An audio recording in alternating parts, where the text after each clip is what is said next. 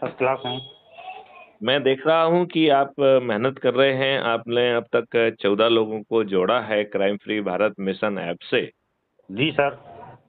लेकिन शायद आपने ये समझ नहीं पाया है कि इसे करना कैसे है। जी सर जी सर। इसमें एक चीज़ ये समझना होगी कि हमें दस ऐसे लोगों को जोड़ना है जिनमें ऊर्जा ज़्यादा हो जो अपने स्वयं के लिए और अपने बच्चों के लिए अच्छा भारत पैदा करना चाहते हो। जी सर। तो हमने ये देखा कि जो चौदह लोग आपने जोड़े हैं हम्म, उन्होंने आगे लोगों को जोड़ने की कार्रवाई नहीं की है। हम्म, मैं उन्हें सर एक्टिव करूँगा।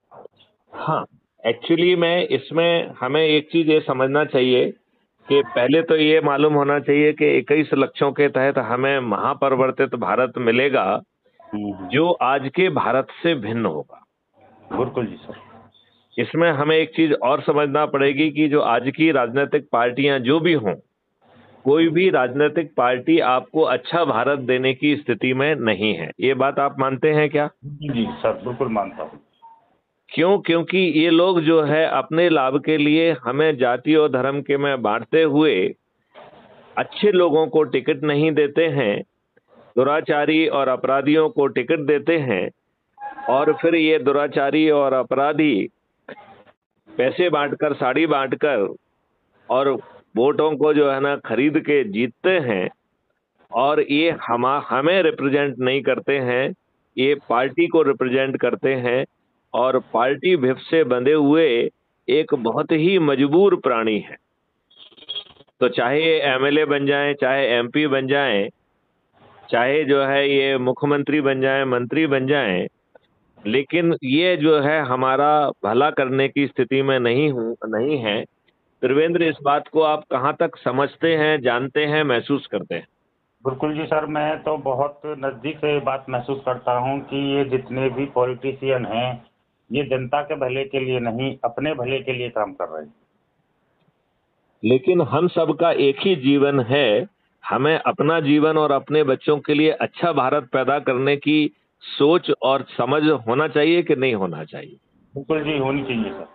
तो जो इक्कीस लक्ष्यों के साथ आपको अच्छा भारत मिल रहा है और अधिक से अधिक लोगों को जोड़कर हम जो है अभी जो वर्तमान में हमारे बोर्ड से सरकार बनी हुई है उसे मजबूर करते हुए कुछ कुछ अच्छा काम करा लें और यदि ये नहीं मानते हैं तो फिर हमारे लोग जो सबसे अधिक लोगों को जोड़े होंगे उन्हें चंद्रगुप्त कहेंगे और उनके पास खुद चलकर टिकट पहुँच जाएगा और हम सभी लोग जो है अपने चंद्रगुप्तों को थाली बजाकर दीपक जलाकर जब विजयी बनाएँगे तो वो बिना खर्च के बिना होर्डिंग लगाए बिना प्रचार किए जीत जाएँगे।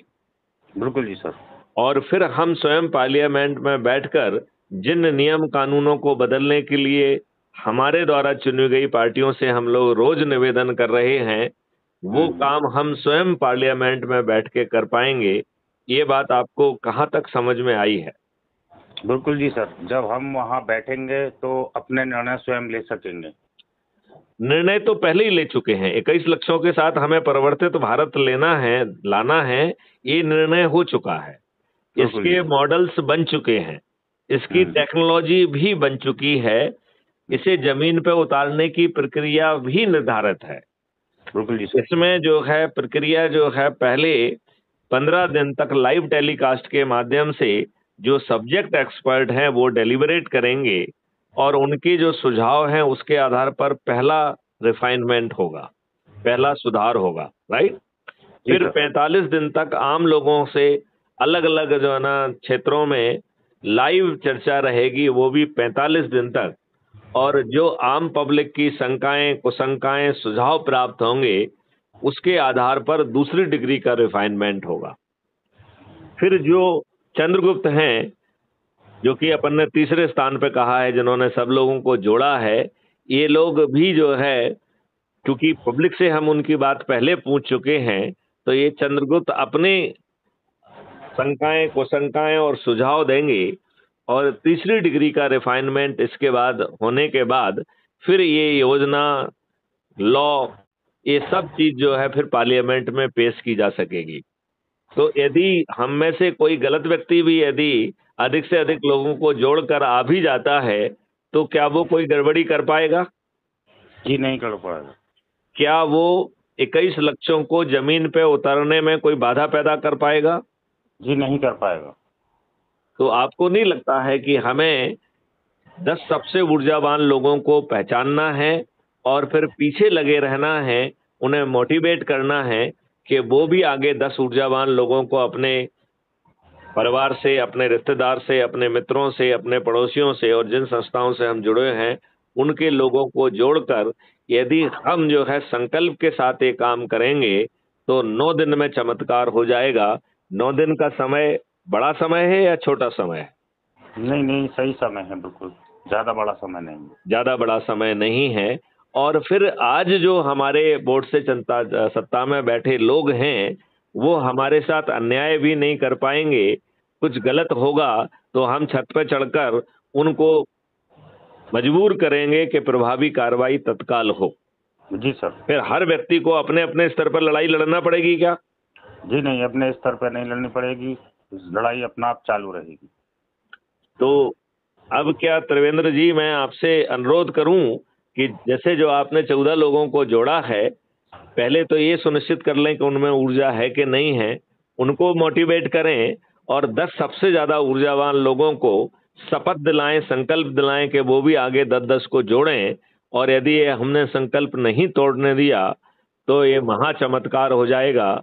हम जो है बहुत कम समय में ही इस स्थिति में आ जाएँगे कि हमारे बोर्ड से चुनी हुई ये सरकारें हमारी बात सुनने के लिए विवश होंगी। और यदि ये हमें नहीं सुनेंगे तो दो में हम उन्हें रिप्लेस भी कर पाएँगे। जी सर जी सर बिल्कुल जी। तो राजोरा जी हमारी बात जो है वो रिकॉर्ड हो रही है और कल तक पब्लिश होगी। तो आप अपने साथियों को अपने लोगों को क्या संदेश देना चाहते हैं? जी मैं ये संदेश देना चाहता हूँ कि यह देश करप्शन और अपराध मुक्त जल्दी से जल्दी हो। और इसके लिए जो है crime free Bharat mission app को डाउनलोड करें। अपने से जुड़े दस सबसे अधिक ऊर्जावान लोगों को जोड़ें और उन्हें मोटिवेट करें संकल्पित करें शपथवित करें कि वो भी यही कार्रवाई जारी रखें। तब हम अपने से द्वारा चुने गए इन राजनेताओं को मजबूर कर पाएँगे कि वो आज हमें न्याय दें और यदि वो नहीं मानते हैं तो दो में हम उन्हें रिप्लेस कर पाएँगे। जी सर। जय हिंद जय भारत वंदे मातरम जय गुरुदेव।